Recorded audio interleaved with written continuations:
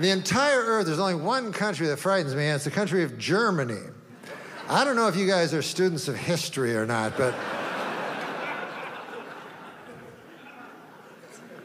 For those of you who aren't, Germany, in the previous century of the early part, they decided to go to, to war. And who did they choose to go to war with? The world.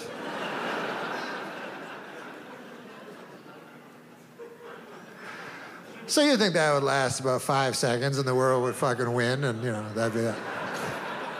But it was actually close. And then, I don't know how that worked, but then 30 years pass, and Germany decides to go to war again. And once again, they choose as their foe the world. And now, this time, they really almost win.